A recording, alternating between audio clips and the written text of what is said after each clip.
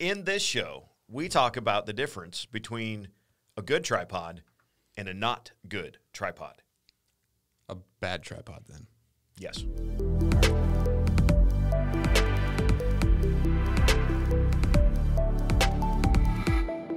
Welcome to the Tech and Teaching Podcast, where we teach you all the tech that you need to know to take your podcast or live stream to the next level. I am Eric Alga, Director of Productions for Striv, and this Is Jordan Hebner, AV specialist. for StrivAV.com. You got to remember to say your website. StrivAV.com. Today we're talking about tripods and the good uses for them and why. I, I really there's there's three main questions that we're trying to answer here today, Jordan. What does a fluid head tripod mean? Why do you need a fluid head tripod? Because as we have seen in our experiences, you absolutely need a fluid head tripod. And what happens when you don't have a good fluid head tripod, nor do you use it correctly? Those are all good answers or questions that we should answer. that we should answer. Okay, so so first and foremost, we got to talk about why. Uh, or, no, we got to go back to the first. What is a fluid head tripod? What does that mean? If somebody's looking at go- go on to any retailer and they see photo tripod and they see fluid head tripod, what does fluid head actually mean? It means it has fluid in it. It's made for video production to create smooth panning and smooth um, tilting, just all, all those camera movements so you're not looking like a sprinkler, basically. Yes, um, we'll talk about a sprinkler in a second. Oh, cool. Um, so that's what it is. There's literally fluid in that head, Yep. and it makes all those movements smoother. So why do we need one? So that you have a sm- smoother camera uh, camera movement and make it look more pro- professional. I thought you were going to go back to the sprinkler, so we don't look Oh, like a sprinkler. okay, okay. So right. I, I say this as a person who has used one of those sprinkler type uh, tripods, and this this is actually not not one of them, but we have we have props today. That uh, is is not a fluid head tripod at all, but it does have some of the properties of a fluid head. But what you'll notice is that there is li- literally nothing stopping this this head from from twisting and panning or tilting in that regard. Uh, if we loosen, uh, actually, it's this one. this would be categorized as a photo tripod. Yes, it just would. for those interested. Maybe maybe that should have been our question. What is the difference between a video tripod and a photo tripod? Well, the photo tripod is just meant to stay sta- stationary. You get it to your shot that you want it, and then you lock it all down, and you're done. But a video, we're going to obviously be moving, following the action and stuff. So that's kind of where they, and then the video tripod has those built-in features that make it um, better to pan, tilt, and just control the camera. Now, there is one thing that we should say that comes with all of the fluid head nests is that they are, uh, if you're just going straight up dollar for dollar, they are a different price range than the photo tripod. This photo tripod, I probably was purchased at uh, a a store that uh, sells pretty much everything under the sun for like twenty bucks And, you got all twenty dollars. and I got all twenty dollars of it. And and actually, you know, when you put a little cell phone mount on the top to take family pictures, it actually works pretty good for that. for the use that it's been designed for. It's great. It, it's great. But if we if we're going to try to put a camcorder, a video camera on top of this thing and use this tripod to move back and forth, to pan and to tilt for our broadcast, uh, we're, we're not going to have a lot of fun. We don't have a long arm. We don't have we don't have uh the fluid head. So now we have to unlock everything basically, and now the steadiness of our shot is suddenly completely dependent on the ability to keep my hand very steady on the tripod handle so that we don't uh, have shaking in the video instead of letting the fluid head do the work of balancing the tripod the camcorder and the, the rest of the tripod head itself. And then uh, we should also talk about the, uh, the last question that we're going to answer is uh, what happens when you don't have a good tripod. And we'll see if we get some some examples, but uh, um, but we have stories about bad tripods uh, for both of us. So Uh, we've we've kind of discussed already what what does a fluid head mean. So it means there's literally fluid in the head. And Jordan, you have actually prop a prop behind you, and I'll get this one. It's show and tell today, folks. We didn't. Uh, Well, we didn't tell you. If It's you're not watching us on there. YouTube, this is uh, this is going to be more more fun and engaging than just listening to the podcast. But we're going to try to talk you through everything that we got to. Well, here, let's see. It you got a beefier frame to start off with, so Yes. it's it's made, it's hefty. It's made to last. Um, but then the ma- the magic is up here in this piece right here, where the uh, the fluid is actually contained. So, did we spill something on this, or does fluid actually coming out of this right now? I think we spilled. Um, I think off. Hoosier decided to eat some McDonald's or something, and then mess with this, so it's a little greasy. Um, it's greasy. So as we kind of talked about with the uh, the photo tripod, they're just kind of well, they're they're they're twenty dollars. I mean, they they can be cheaper. They can be get really expensive, but um, they're made just to hold something, and so they they tend to be lightweight. Um, and these, uh, from what we we've kind of shown here, they're a little bit they're heftier, they're bit they're heavier duty, and then so they're they're made to hold the weight of the actual camera, and um, each fluid tripod has their own weight specifications that they're able to hold a video camera that's up to seven pounds, eight pounds, ten pounds, what, whatever. And so obviously the the heavier camera is, or your camera rig, um, as we'll we'll build out through through the episodes here. Um, you kind of have to fit your your tripod to that. But for the most part, what we've seen is is this tripod um, does really well, and then you're able to balance um, with with your plate here that you will the plate that you mount to your camera you're able to slide that back and forth depending on where how much stuff you have on your camera how heavy it is so that it it's going to sit level for you and your angle also that you're trying to film at. We've been in a lot of different arenas, gyms, football stadiums, the Crow's Nest. Every every place is a little different. So the ability, you know, sometimes you you have to just by necessity you have to set up closer to your field of action, whether that's the football field or the basketball court, and you'll get more of a we're kind of on top of the field, and so sometimes we need to be able to tilt almost almost mm-hmm. straight down, really, like we're looking out the window and looking down. Um, that's not something you think about if you're just standing in the press box, but a camera needs to be able to tilt all the way down sometimes uh, to get that view right along the near sideline. And so, like Jordan said, being able to balance that camera so that it's uh, it's a little easier, and depending on what else uh, you put on there. One of our shows I know coming up, we're going to talk about. Um, uh, a Lilliput monitor, so it's a it's a camera assist screen basically, and it's uh, the particular thing that we'll talk about is many has many uses, but one of the uses that we found for that is um, you actually mount a bar to your tripod plate, and then you mount the camera and that screen on the onto the bar. Well, that really changes the weight uh, and its distribution on the tripod head itself. So you got to do again that little balancing act with the uh, with the plate, and it makes it uh, makes it a lot easier to use. And I can't wait to talk about the the Lilliputs because we have we have found that they are just really really handy, They're, they make things they make life easier much easier. So um, we've talked now a little bit about why you need a, a fluid head tripod. What happens when you don't have a good tripod, Jordan? Uh, there's a lot of things that can happen as we've kind of seen over the over the years. Um, Yeah, it they can range from it literally looks like a sprinkler as you're trying to shift from one side of the quarter field to the other, or it.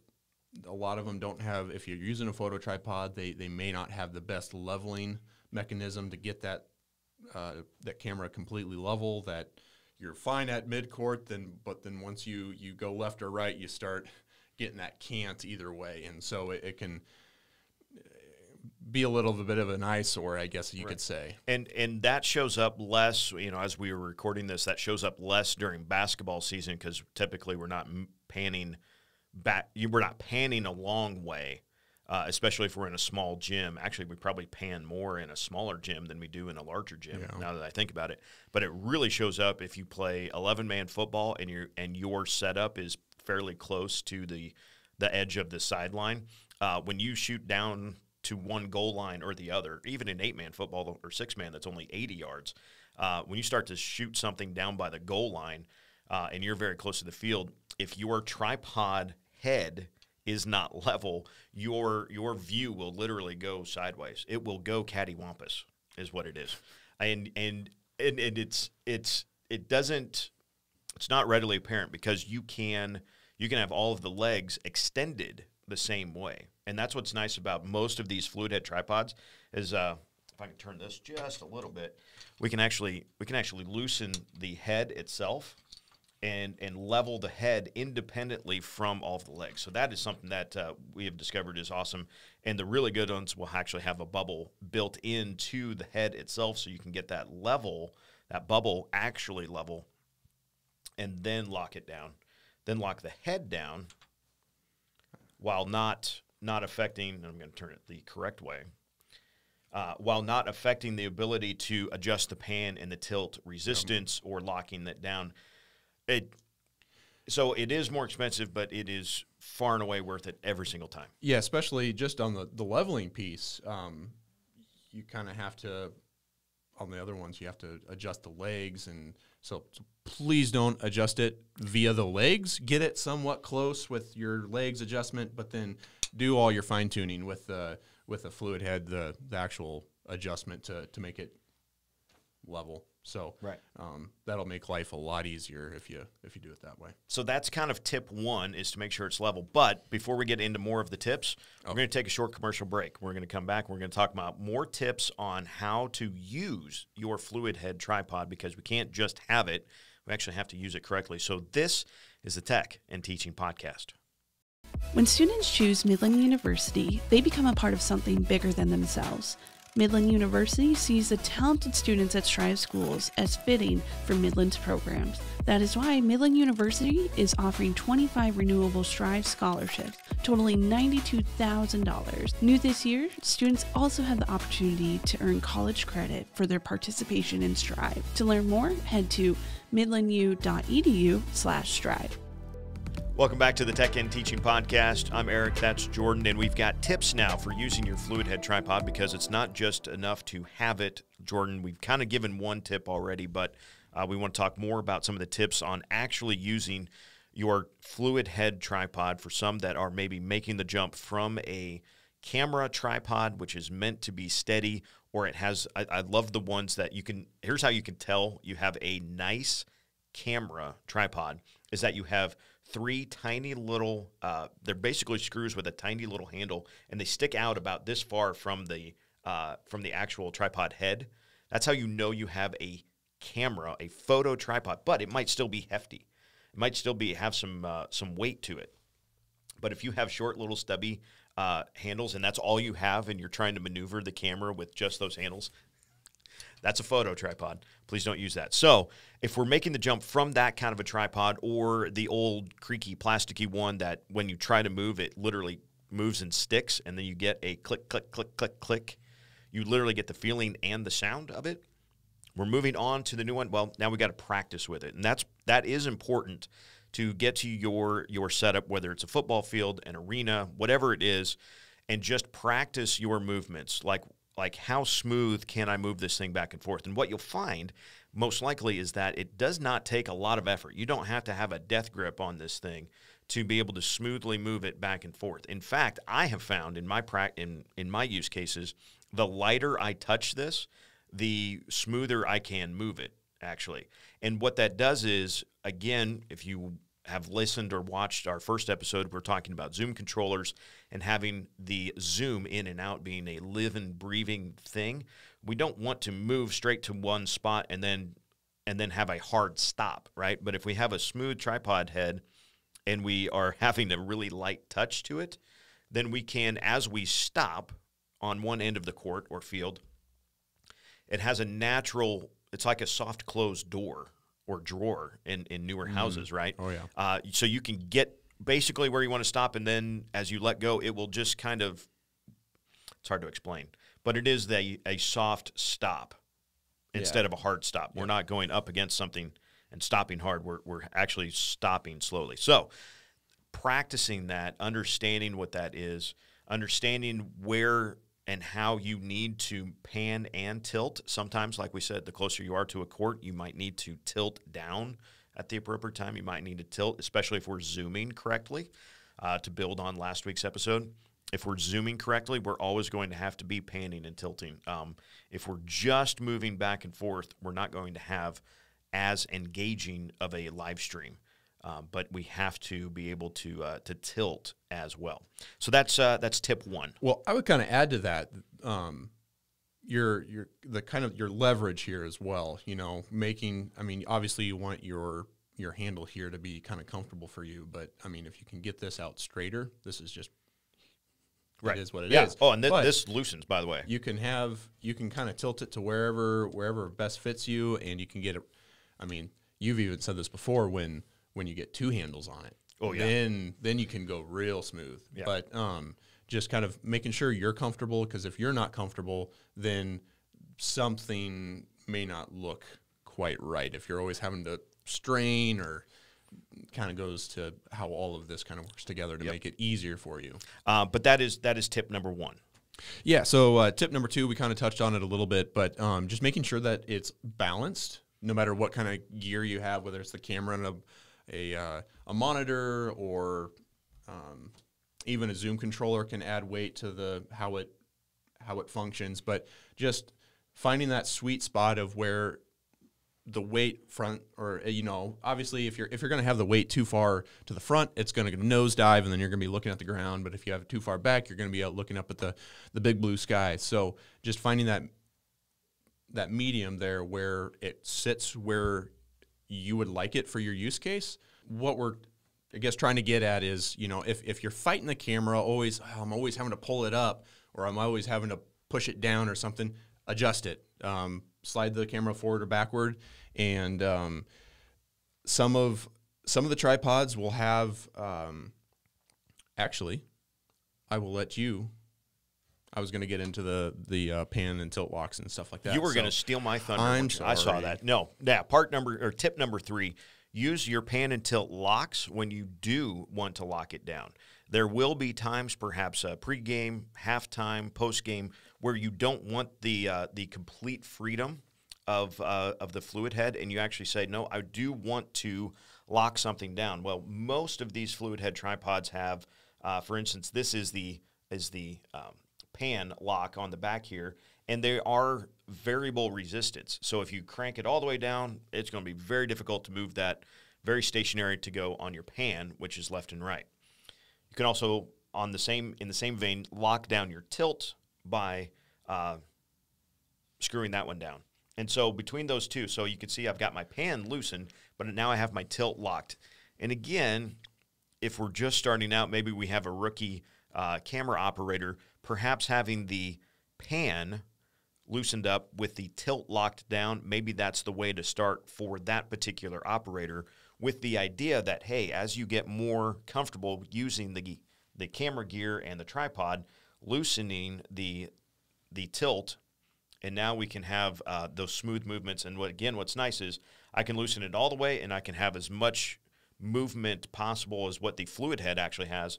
And some are different that you can actually adjust the amount of resistance. This one isn't one of those, um, but you we actually have a, a more broadcast one where you can actually adjust the amount of resistance within the pan and the tilt. The tripod legs are also very important, Jordan. That's that's tip number five about the legs. Yeah, this could go with well, a lot of these tips could go for any tripod, but having them on something that's sturdy, um, that you you don't want it on a like a 14 foot two by four. That's just kind of I don't know. That's the best analogy I can get right now, but you know, just so that you don't have that extra rock because you you can set it up on a on a bleacher or something like that. But as people move and stuff, you're going to get that little vibration. So you start with a solid foundation and or something sturdy at least that uh, will help minimize your your your movements on the camera too, or the jitters, I should say. Right. And we have seen some schools really start to invest. It's been a lot of fun to see schools invest in um, ways to get that platform more stable. Because, yeah, I've, we've seen schools start with, hey, we're in the gym. The only place we got is the top of the bleachers. And so whenever somebody goes running down the bleachers, you see boom, boom, like you see it on sh- shaking the camera.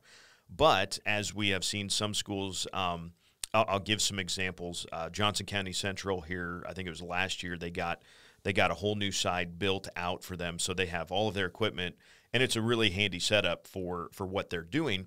Uh, but they have this this really nice space, and they have a platform that is built on top of the bleachers but it kind of gives that that cushion um, mm-hmm. instead of being just on the bleachers. Uh, I literally just saw as we record this. I just saw this morning. Superior has built out uh, two little separate, um, almost cages.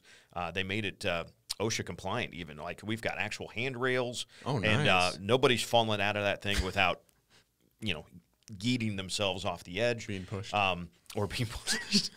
that, that's please don't push your people out of the um, broadcast booth. Um, but it but it's a it's a dedicated space and it's a dedicated uh, section off of the bleachers. Um, Johnson Brock has one as well. Uh, you know, and, different places. You know, everybody's gym or or or football press box is all set up differently. So um, it, it it is worth it. I, I guess the point of saying all that is it is worth it to invest in some sort of platform that can give you uh, the best possible use for your camera tripod. Even if you're not on a nice fluid head tripod, yeah. giving yourselves the best chance to have a good camera experience. Um, it is definitely definitely worth it. And I'm so sorry, I really jumped on on point four. So if you would like to take point six, um, please please go for it. Oh, you're totally fine. It's just leveling it. Level your tripod. Nobody wants to watch a out of whack video. Cattywampus. Cattywampus video. Level your tripod now. Okay. All right. Now now dad's coming out. Okay. There. Well, okay. Okay. Level your tripod. It'll make the viewing experience a lot better. So other than this all sounds good. Mm-hmm. Sounds great. But where if we're if we if say I'm a school or a person that's doing a live stream with just a photo video or a, a photo tripod, mm-hmm. what what what are the next steps? What what should I do? I mean, I maybe I don't have two hundred dollars to go out and get a fluid head tripod. Well, then you got to do some advertising dollars to have funds to buy a new tripod. That works. Okay. That yeah. That it it is worth it. I I I would tell any school this, no matter where you are at in your in your process of, of building your live stream production. It is it is always going to be worth it to go to the next step, whatever the next step is for you. Um, I, I haven't seen I haven't seen anybody uh, go from a photo tripod to a video tripod and then a month later go email me back and go, ah, man, this is not what we thought it was going to be. This is this is just not. It's just not the thing. It is the thing, it, it, it, like it like it always is, right? Um, so it is to a certain extent, though. It is um, just a tool, and and you still mm-hmm. have to use it correctly. And I think that's still the the teaching process of how to use one of these things correctly, and that yeah. is like it's not just oh we bought the thing so now everything's going to be better. No, we have to learn how to use right. it. Yep. Um, we can't we can't just buy the latest blocking sled for the football team and expect the, the linemen to be better blockers, right? No, we have we have offensive line and we have coaches to coach the players on how to use the new tool so that they do better in the game. It's the exact same thing when we're talking about live stream equipment and your live streaming team. Um, we have one more point here, and it's not necessarily about a tripod but it does have three. Jordan, we have more props. You ready for this? I'll let we you do. get rid of that one. And we will present on our main camera this. And this is this too tall? It is not. Okay. So this, as you can see, only has one leg. Um, what are these down here? Those are feet. Ah. One leg, three feet. This would be considered a monopod. Um, and what is very cool about this is uh, it does have the three feet, and so we have seen I've seen photographers use a monopod, especially as lenses, the really big lenses become slightly more mainstream to use. Those lenses are huge and heavy, and yeah. and it's just not feasible to have um, have your camera on a uh, without some sort of stabilizing device because you're not going to hold it steady enough. So I have seen stick monopods that are more or less a walking stick uh, with a quarter 20 thread on the top. And, uh, and they work great to just prop your camera. And that's a great start for for schools that are investing equipment to have a sideline camera or a secondary camera that is going to be more mobile, mm-hmm. but you still want it stable. Again, I'll, by and large, we're dealing with camcorders uh, at the high school broadcasting level. We're not to a shoulder mount rig uh, in a big, uh, big Ursa camera, right? So we don't have that. So we have to kind of what's the go between? It's a monopod. And so what we first saw, and and experimented with because we had some was just the stick monopod. And, and it's one point of contact with the ground and it's one literally just the quarter 20 thread goes directly into the camera. There's and it extends out and that's it. It's just a way to set your camera. You still have to do all of the movement but you have to do it with the fact that you have one point of contact. Then we discovered these. And thank you ben mohorn for um, for getting us into that world because these yeah. things have feet. And Jordan, these things are awesome. Uh, it was a game changer for us. Absolutely, was just it was actually it was kind of mind blowing. Yeah, but yeah, it you know the panning and tilting. They've this this one has a fluid pan down below. Um, this is a Manfrotto Element M2, I believe is what it is. Mm-hmm. Um, it's a it's a little on the shorter side, so you uh, challenged their height height challenged people would find that uh, this one right for them. But it it has a fluid fluid head up here, and it just made things so much easier um, down on the court and underneath the hoop, and getting those free throw shots and stuff like that without having that stick fly out and right. hit the ref and so what we discovered was because there's literally two there's two pieces. So our pan and tilt that we showed you on the big tripod actually uh, your pan is handled by a fluid component down here at the bottom. So i can turn this whole top while my feet stay steady. And then i have a tilt component that is also fluid head up top here. And so the whole thing thank you uh, so now i have pan and tilt while keeping a steady base and I can keep the feet on the floor. So now I have basically the benefits of a fluid head tripod mm-hmm. that we've been talking about for the last 20 minutes, uh, wrapped up in a monopod. Now, would I want to use this monopod, uh, this particular monopod, for my main camera shot for the day? No. Um, that you because at some when you extend this out, you still have to hold it steady. There is a leveling yeah, component you that you still have to do. Yeah, it can do, but so it can go like day. that. And what's cool is if you if you kind of practice with this, and I've seen some of the pros kind of do this, is they will uh, actually get some sweeping kind of shots while keeping that uh, that on the floor and uh, it it it just uh, that one's really tight right now. It needs some oil. We need we need some more fluid in there. It's a little dusty too because it has been used uh, a great many times. That got bent even. Look at this. We have put this thing through the ringer. Used and abused. I, w- I know this isn't a review podcast, but um, I thoughts? I my I don't. I'm a taller person, so it doesn't get as high as I'd like it. But that's not the main reason why I have a little bit of beef with it. I guess is that it's because of the the fluid. The panning happens down here, mm-hmm. and the tilting happens up here. And so what happens is you actually have to use your hand here to pan it. And I I'm not a fan of that. I'd like to control everything here while my hand is now unscrewing the whole thing. But yeah, right, it's and so like the monopod or the Miliboo monopods, right? They're much beefier and they can get up to like six foot or something like that. But they have everything built in in the head. Right. And it doesn't have the panning down here. I guess there there might be some people that would like that, but I just right. I wasn't a huge fan of it. Right. These monopods, we have these on strivav.com. We do. Uh, and they are pretty handy. This one does have the three sections that extend.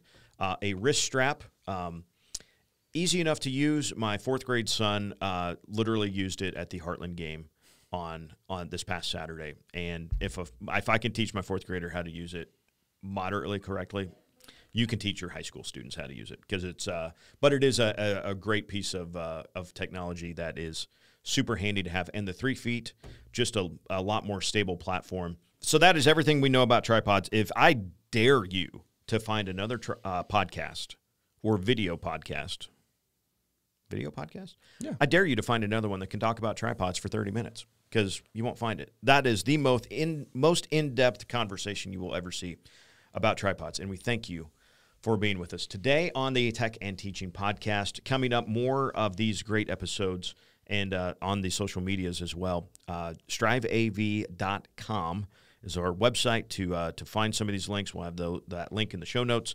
And um, what do you want to talk about next week, Jordan? Ooh, that's a good question. So we've I- done I Zoom think- controllers and we've done tripod slash monopod. So we're building out kind of the camera rig. It kind of feels like Well, we we need a. c- We don't have a camera yet, so all this hmm. stuff is kind of. well, we got three of them shooting, so I don't know how we're going to do that. we should talk about cameras next week. We're going to talk about cameras next week. Okay, you should order some so we have something to play Yep. with. Okay, cool. I can do that. Thanks for watching us and listening to us on the Tech and Teaching Podcast. We will see you again for the next show.